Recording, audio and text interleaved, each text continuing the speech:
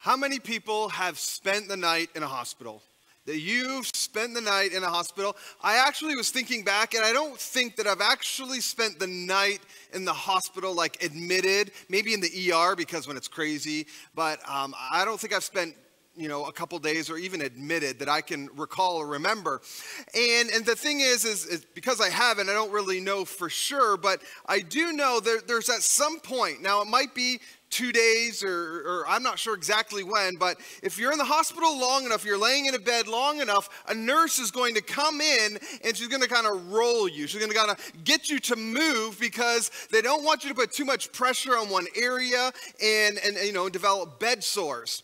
And the goal, though, is to eventually have you stand. That that is the best posture for you to stand and to start moving that that is the goal. And see, you when you stand, it is actually the most health, healthy posture for your body is to stand. You know, one of my favorite topics to preach on is the promises of God. I mean, there is just something powerful about the promises of God. Amen? And, and so, you know, you will hear a lot of times topics preached on the promises, you know, like he will never leave you nor forsake you. That, you know, the promise of grace and forgiveness. Do not fear, for I am with you, said Isaiah.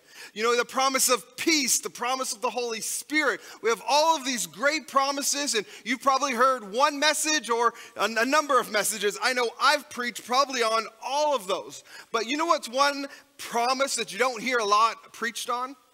It's the promise of persecution. The promise of persecution. Yes, you did hear me right. I said persecution. And that is a promise from the Lord, from Jesus himself, actually. It came out of the lips of Jesus. And it came at a time where Jesus is doing his famous Sermon on the Mount. So he is speaking and he gets all of 10 verses in.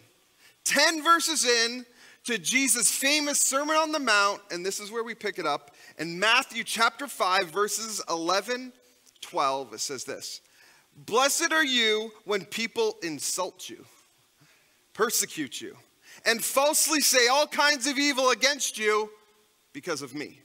Do you notice he said why they persecute you, why they say, not because you're a jerk, not because you're mean, okay? Not because you're rude, not because some, you cut somebody off in line, or because of me, Jesus says. Rejoice and be glad because what? Great is your reward in heaven. For the same way they persecuted the prophets who were before you. You know, we've been brainwashed in America to take the path of least resistance. Have you noticed? The path of least resistance. And, and 2020 really just catapulted that to a, a whole new level, right? I mean, you can get pretty much anything door DoorDash to your house. You can go to any store, order online, be able to pick it up, curbside. Don't even have to get out of your vehicle. They'll just bring it to you. They'll get it delivered to your house. I mean, drive through. I mean, you just, you name it. I mean, from groceries to food to, you know, whatever your heart desires. It's a path of least resistance. But here's the thing we also have been brainwashed to feel to think I cannot offend anybody. Because you know what? Offending somebody creates confrontation and you have been we've been programmed not to have confrontation so we will shy away and take the path of least resistance. I don't want to say this in the office area because somebody might be offended so i'm going to take the path of least resistance so i don't hurt somebody's feelings. I'm not saying we go out and purposefully hurt people but i think we've been staying a little too quiet I think that we have been being a little too reserved and taking the path of least resistance when it comes to our faith. And I think it needs to stop. Because here's the thing pretty much every time Jesus spoke, he offended somebody. Pretty much every time he talked, he offended somebody with the truth of God's word, with the truth of his father. Now, here's the thing is from day one, as your pastor, I have said, okay, we're not going to offend people when they walk into our building with a dirty, unclean, unkept church, okay? Or we're not going to offend people with grumpy greeters okay? That we are not going to offend people with confusion on what happens when I walk in the building, that where do I check my kids in? Is this an easy system? Where, where's the bathrooms? What, what do I do here? We're not going to offend people with outdated decor, a look, or style. We're, we're not going to offend people with bad music. you know, thankfully, we don't have to worry about that. We're not going to offend people with awkward silence because the person doing offering doesn't know when in the order of service is supposed to be on the platform. And man, those pastors don't know what they're doing and just unorganized. And we're not going to offend people like that. I believe we need to do everything that we do, we need to do with excellence because it's being done to the Lord. But let me tell you, I have no problem offending people with the truth of God's word. None. I have no problem. Because here's the thing is when you stand for God's word, eventually you're going to offend somebody. Eventually it is going to happen, but here's the thing, what Jesus said. You remember? Rejoice and be glad, because great is your reward in heaven. That's what we're living for. It's for heaven, for eternity. Not for popularity, amongst men, living for the audience of one. And Jesus said, Great is your reward that is in heaven. We're going to be taking a look tonight at a man who stood in the face of adversity, who stood in the face of persecution. In 1 Kings chapter 18, we're going to be looking at Elijah. And I'm going to give you a little bit of backstory about Elijah. Back in chapter 17, he goes to King Ahab and tells him, hey, there's going to be a drought. All right, so you better get ready. Elijah leaves. Sure enough, it stops raining. King Ahab, he, he's upset. He sends guys, hey, let's find this prophet of God. We want to kill him. Three years into the drought, Elijah goes back to King Ahab, tells him, hey, You've abandoned the ways of the Lord. Stop. Hey, gather all of Israel, Elijah says. Bring your 450 prophets of Baal and meet me on Mount Carmel. So Elijah is on Mount Carmel with all of Israel watching and listening. The prophets of Baal are there. And basically, we have now a duel that is going to happen, a showdown of epic proportions. In the midst of persecution, Elijah stood. He said, I'm going to stand for the truth of who God is. In the midst of King Ahab wanting to kill me, I'm going to stand. And this is what he said in verse 24 in chapter 18. He says, Then you call on the name of your God, and I will call on the name of the Lord, and the God who answers by fire, he is God. A duel, a showdown between the true God and this Baal God. And he says, you know what? We're going to prepare a sacrifice. We're going to get a bull. We're going to prepare this. And the God who answers by fire, that is the one true God. Now, here's the thing is for you, chances are you're not going to go to work tomorrow and have a duel, okay, with a coworker and say, all right, whoever's God answers by fire, that is the one true God. Chances are, and I would not suggest it either, that this is going to happen to you. But you know what will? Conversations will come up in your workplace, in your schools, where you can be silent or you can choose to stand. There's gonna be con- conversations that happen that, that people are talking about things that are contrary to your faith. What are you gonna do?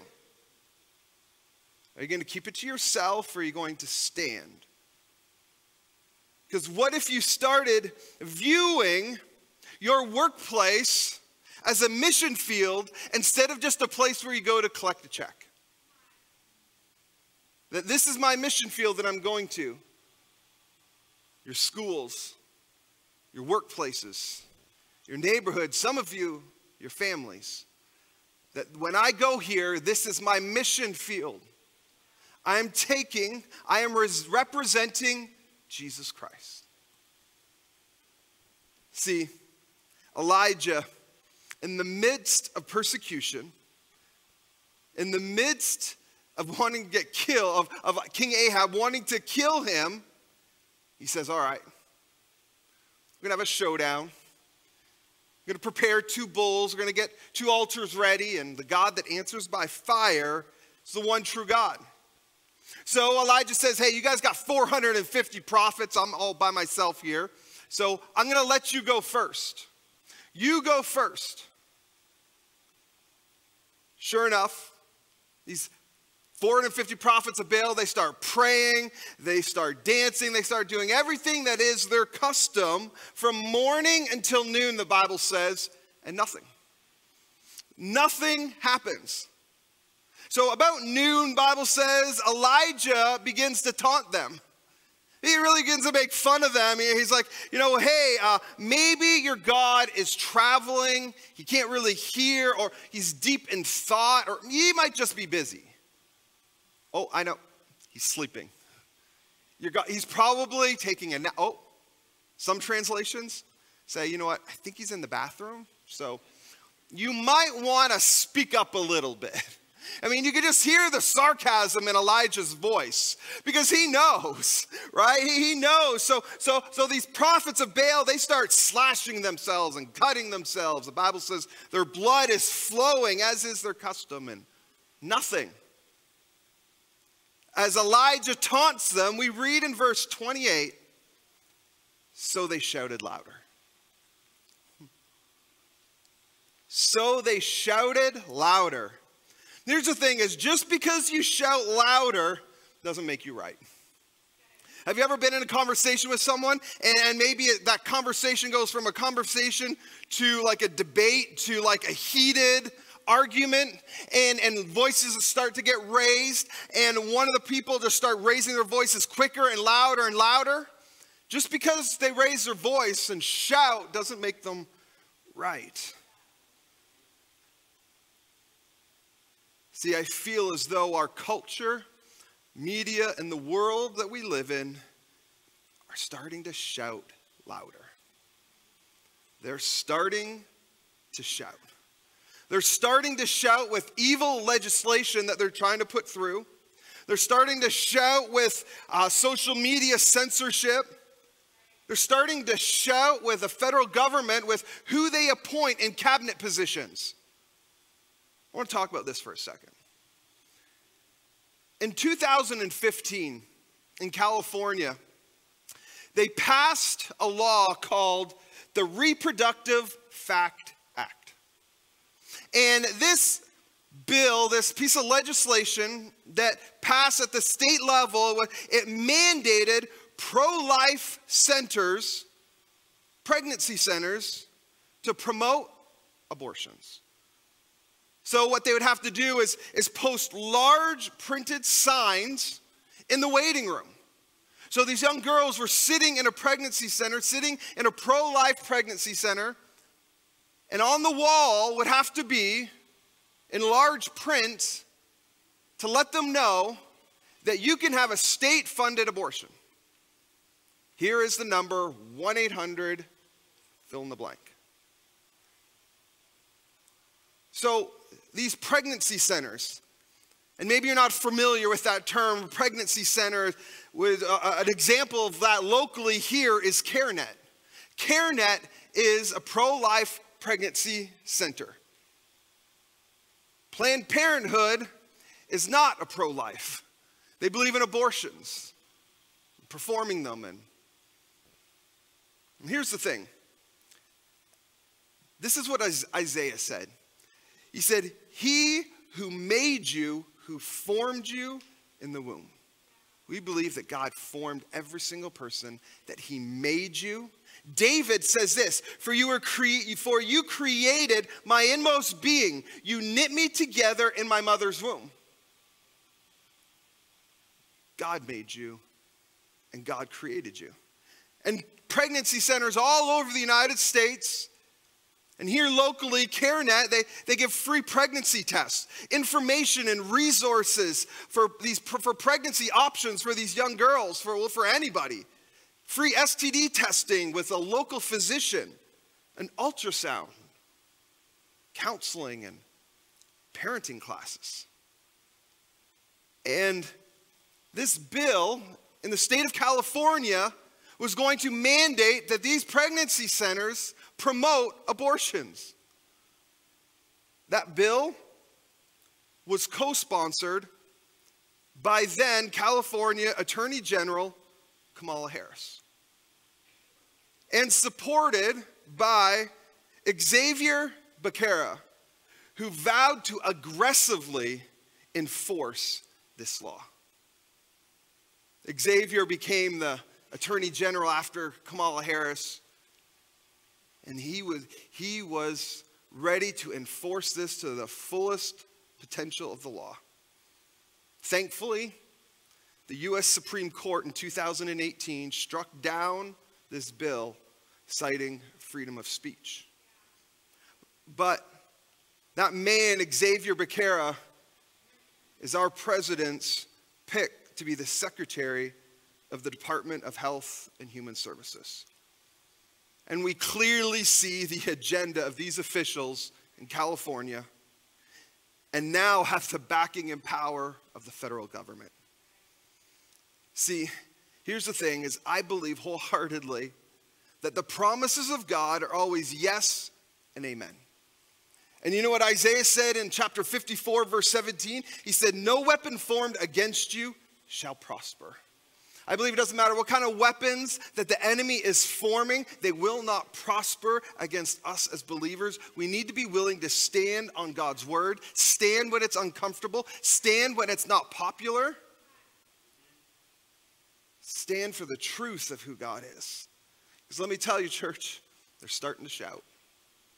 They're starting to shout, but never count out the people of God. Because the power that we have through the Holy Spirit that is alive and well on the inside of us, man, there's nothing that we can't do through Christ. Amen? Those prophets of Baal, man, they started to shout. They danced, they chanted, they cut themselves, and absolutely nothing happened. The Bible says in verse 29, it says, But there was no response. No one answered, and no one paid attention. Absolutely nothing happened. So, what does Elijah do? Elijah, in 1 Kings chapter 18, verse 30, let's read it. It says, Then Elijah said to all the people, Come here to me. They came to him and he repaired the altar of the Lord, which had been torn down. Worship team, you can go ahead and come back. See, the altar of the Lord was a place where the Israelites, the people of God, would come to sacrifice. And it says that Elijah repaired the altar of the Lord. He repaired it which tells us something. It tells us that the altar that Elijah was building was not new, that there was once a remnant of an altar already there in existence. There was already an altar there, but it had been torn down.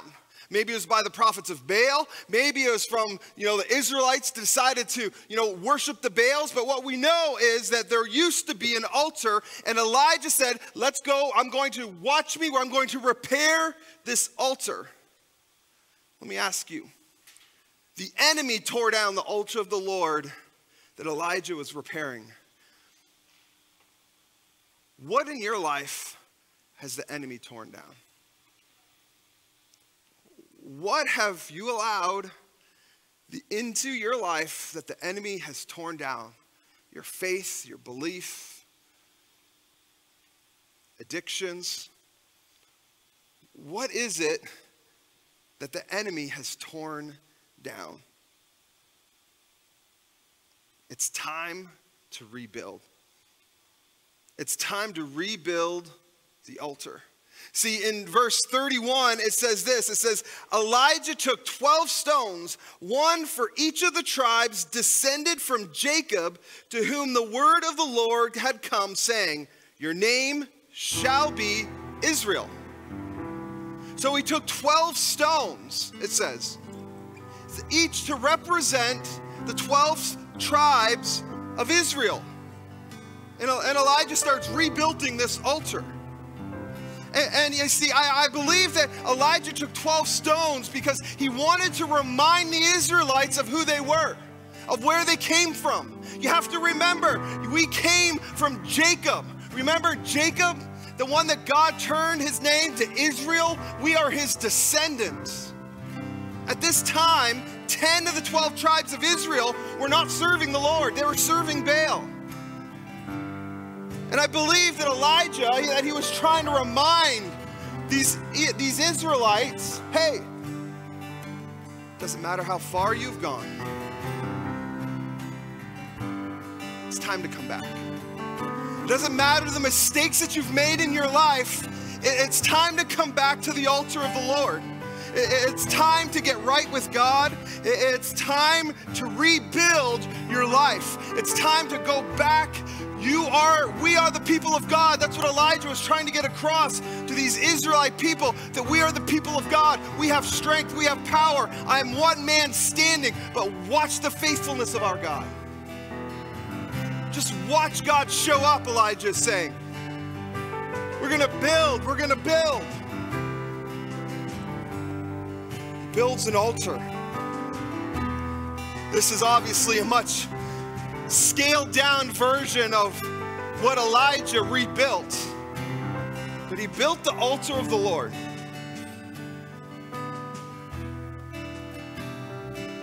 Wanted to remind them you're chosen by God. And I feel as though I need to remind somebody here today you are a child of God.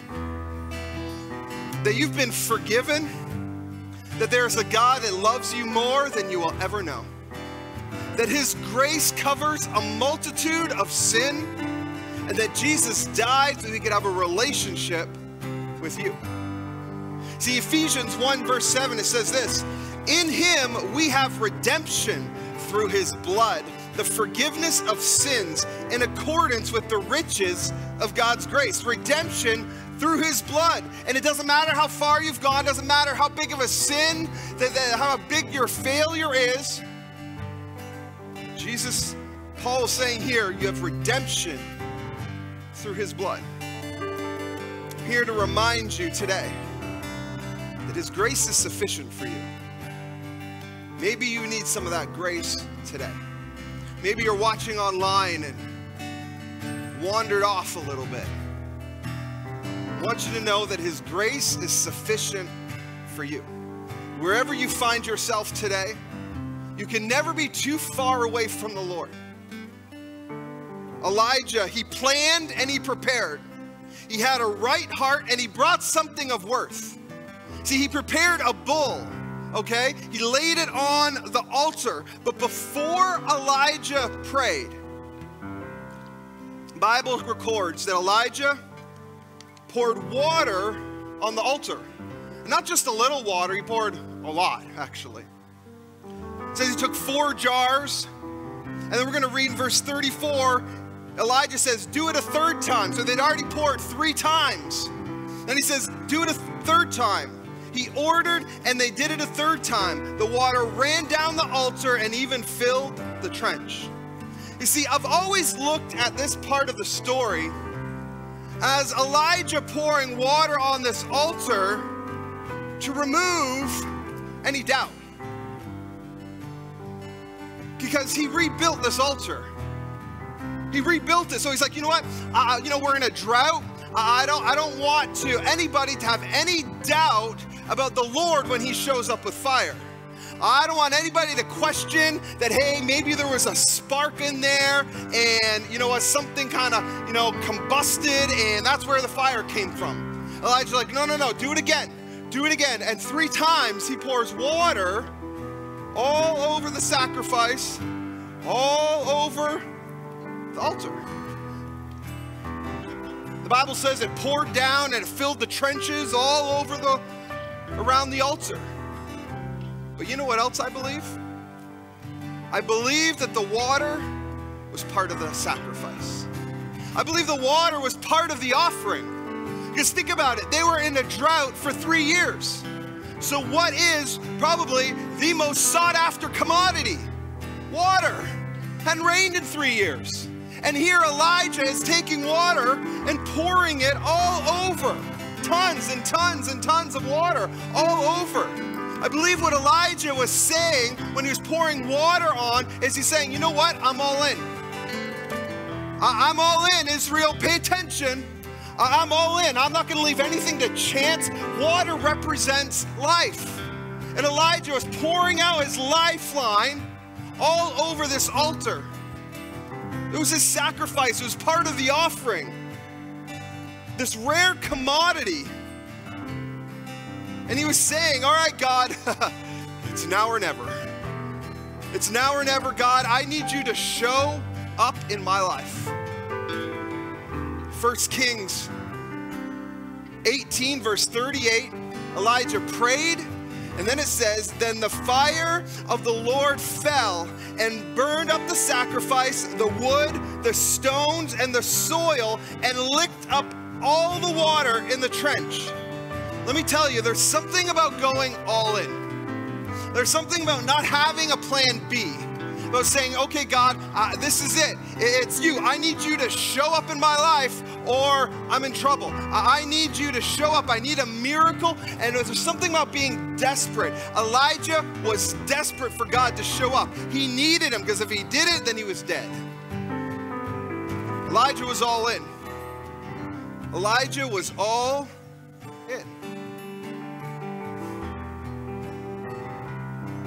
See, when we believe God's word cover to cover, we're all in. When we live it out, because there are people who pick and choose what they want to believe in this book. And they try to live a Christian faith, and it's flawed. You can't do it. They try, they're miserable. But when you believe this cover to cover and you live it out, you're saying, God, I'm all in. And as believers and as a church, we need to be all in because here's the thing if you look at what the people's response was, in verse 39, we read, it says, When all the people saw this, they fell prostrate and cried, The Lord, He is God. The Lord, He is God. The same people that were worshiping Baal were all of a sudden laid prostrate, saying, The Lord, He is God. The Lord, He is God. See, when we go all in and we stand, we rebuild the altar, we bring something of worth and we go all in in our faith, guess what? Persecution is going to come.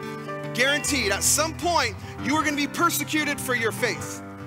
You are going to offend somebody with the truth of God's word.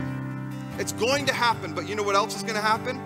Is we're going to see a harvest of souls like never before that we are going to see God's name lifted up. We're going to see people that were far from Christ come into a relationship with Him when we are willing to stand and go all in. Are you willing to go all in today? Those of you watching online, are you willing to go all in? Abandon everything that you've ever known and follow God at His word, and this is it. This is all that we need. I want you go ahead and bow your head and close your eyes. And I want to ask you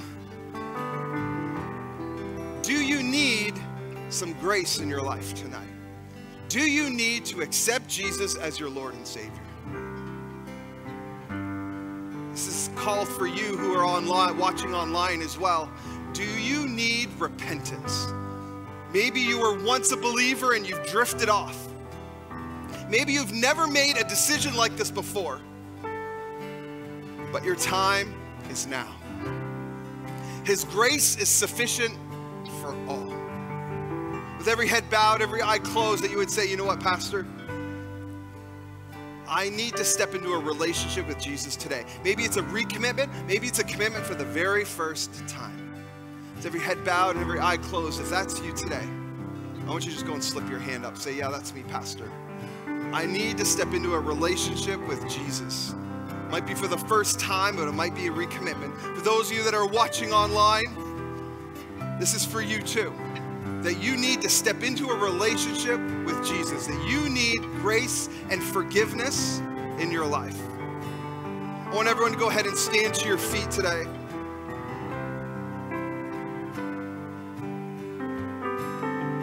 Maybe you are a believer already.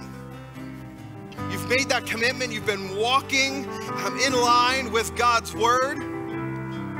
And, and you would say, you know what, Pastor, I, I feel like I just need to go a little step further. I need to go all in. I, I, I need to take that extra step. I know that God is calling me and asking me to take a stand. Maybe it's in my workplace, maybe it's in your school or family or neighbor, wherever it is. But you say, you know what, Pastor, I know that God is calling me to take a stand and that I need some strength tonight. I need some wisdom. God, I need you to fill me with your Holy Spirit.